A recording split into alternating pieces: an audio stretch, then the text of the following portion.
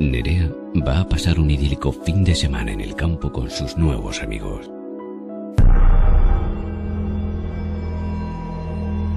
Pero puede que no sientan amigos.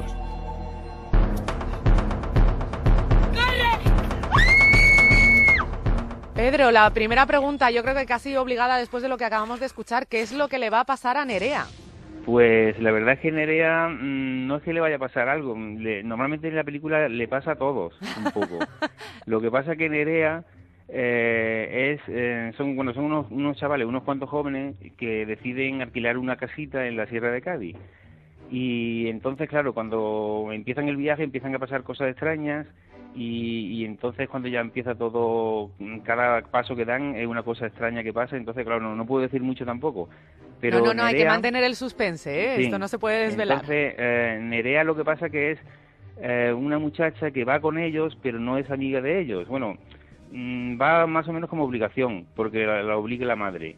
No es una muchacha nueva que ha llegado a un pueblo y entonces, pues claro, la madre quiere que, que tenga amigos y no sé qué, entonces la, la obliga a ir con, con unos amigos que al final mm, eh, está un poco como, como apartada. Es la primera vez que va con ellos de, La, la primera vez no vamos a Sí. decir si es la última, ¿eh? porque entonces destripamos la película, Bueno, pero vamos. No, bueno, sí, Pasar, pasan un montón de cosas. Pedro Sánchez, Sí. director de este corto, El altar, que me encanta además porque debajo dice demasiado tarde para rezar. O sea, eh, se va a pasar mal viendo el corto, pero también se va a pasar muy bien. Y sobre todo lo estáis pasando muy bien trabajando en él, ¿verdad, Pedro? Porque está todo Algodonales implicado en este proyecto. Sí, por ejemplo, ahora el sábado que viene tenemos un, el último rodaje, que esto sí se puede decir porque no desvela nada de- del corto. Es un rodaje que mm, donde va a participar mucha gente, todo vestido, muchos figurantes, todo vestido de, de zombies, ¿no? Mm. Aunque no tiene que ver nada la película con zombies, pero... mm, Pero hay es zombies. como- hay zombies. Ya veréis por qué, ¿no?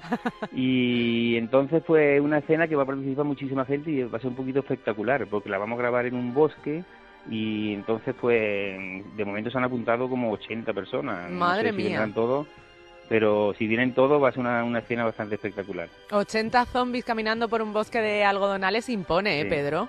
Sí, sí, pues sí.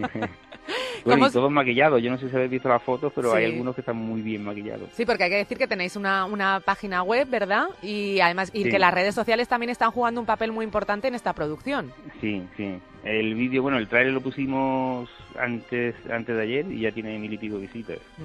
Como que parece que estaba... Y ya ha entrado también la Fundación ABA y no sé, vamos a ver lo que pasa. Pedro, ¿cómo surgió la idea de, de rodar este Pues, cortometraje, El altar? Sí, la idea, esto es un proyecto del Ayuntamiento de Algodonales.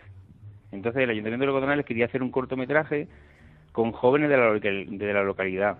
Entonces como yo ya, bueno, a mí me conocen, ya he hecho varios documentales, he hecho cortometrajes también, entonces pues me contrataron a mí para llevar a cabo el proyecto. Y claro, pues yo ya digo, ya que me han contratado, pues en vez de entregarle un cortometraje normalito y corriente, pues quería hacer algo especial. Especial y, espectacular. Sí. Y entonces, al final, mm, al final, bueno, ya llevamos 37 sesiones de rodaje, Madre mía. que para un cortometraje, vamos, eso es muchísimo. Va a ser un Pero mediometraje, gente- ¿no? Al final, prácticamente. ¿Cuánto, cuánto No va a durar? No sabemos, no lo sabemos sabemos. todavía. Mm. Eh, estamos montando y yo me temo que para un cortometraje de media hora lo vamos a tener que acortar un montón. Mm. Y entonces estamos pensando si no, si queda bien y conseguimos, si el montaje total son unos 50 o minutos o una hora casi, Mm. estamos pensando en alargarlo para un, cort- un largometraje. Ah, genial, genial. Porque es que Sería la, verdad, la verdad es que hay mucha escena, mucha variedad. ¿Y sería el Mm, es primer que- largometraje sí. que se ha hecho allí en Algodonales, Pedro? Largometraje, sí. Sí, ¿verdad? Yo hice hace tiempo aquí uno también que mm, hace siete años así y fue eh, un mediometraje Sí. que también tuvo mucho éxito. Se llamaba Ojo que hambre y también, bueno, tuvo un montón de éxito. Llenamos el cine siete días con 700 personas y luego Bueno. también está muy bien. La gente es que se, la gente que se vuelca por estas cosas. Eso te iba a decir que, que lo que- eh, la verdad es que es una localidad muy implicada porque comentabas tú este otro proyecto que realizaste, pero bueno, también ha- eh, hubo uno hace relativamente poco que era Érase una vez, que yo recuerde, ¿no? Que eran los Ah, niños sí, de, sí. de algodonales Sí. recreando la historia de, del pueblo desde la prehistoria. O sea, que quiero decir que, que son unos vecinos muy cinéfilos, muy amantes del Esto, cine y sobre todo muy dispuestos. ¿no? Aquí todos los años hacemos algo. lo que pasa es que este año va a ser un poco especial, porque este año ya... mm, pero lo de los niños, eso de hacer una vez algodonales también está muy bien, porque eso es, mm, la- contando la historia de algodonales, pues son niños todos de primaria. Y entonces pues van disfrazados de, de primitivos, mm, luego de árabe, de romano, ¿no? Y entonces pues está todo grabado en un fondo croma, ¿no? En una pantalla verde Sí, y luego el, el fondo pues se va sustituyendo por los paisajes, entonces quedó muy bien también. qué gracioso. A ver, eh, Pedro, volviendo a El altar, que yo estoy deseando ya ver esta...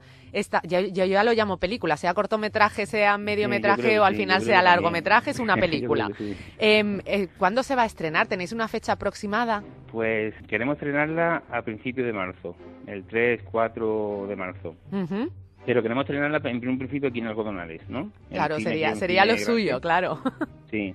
Y bueno, el estreno queremos hacer una gala especial también, una gala con, con bueno, toda la gente que ha participado, los actores, la familia de los actores, toda la gente que tiene que ver algo con, la- con el con lo que es con el con la producción.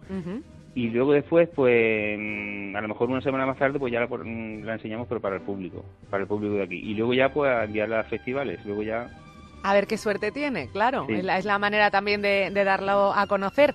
¿Más proyectos Mm. hay o, o cuando termine este ya os vais a dar un descansito? mm, bueno, no sé. De momento vamos a ver lo que pasa con este, porque este tiene mucho trabajo todavía.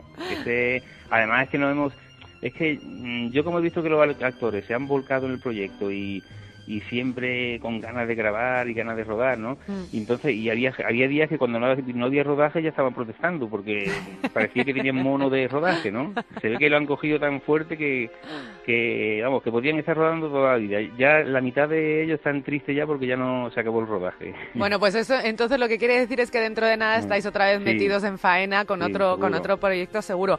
Que además, Mm. eh, eh, documentándome un poquito así para saber, bueno, ¿y de dónde viene esta afición por el cine? Lo que sí he descubierto es que tenéis incluso un vecino en Algodonales ya con un premio Goya, Sí, exactamente. que Bueno, es Manuel bueno. Carretero. Sí, sí, Manuel Carretero, que es maquillador y peluquero, ¿no? Efectivamente, Sí, sí, recibió un premio. Goya por la piel que habito de Pedro Almodóvar, Sí. nada menos. O sea que mira, Sí. pues también es un buen aval. A ver si vemos eh, para el año que viene el altar en los premios Goya. ¿Te lo imaginas? A ver, eso va a ser un poquito difícil, pero bueno. Bueno, ya veremos. intentar. Sí, sí, ya veremos. Pedro, desde luego os deseamos a ti y a todo el equipo la mejor de las suertes y también os damos las gracias porque, bueno, porque hacer cine en estos tiempos es muy complicado, Sí, muy pero la vida sin el cine tampoco se entendería. Así que mucha Sí. suerte y muchas gracias, Pedro. Pues muchísimas gracias a vosotros.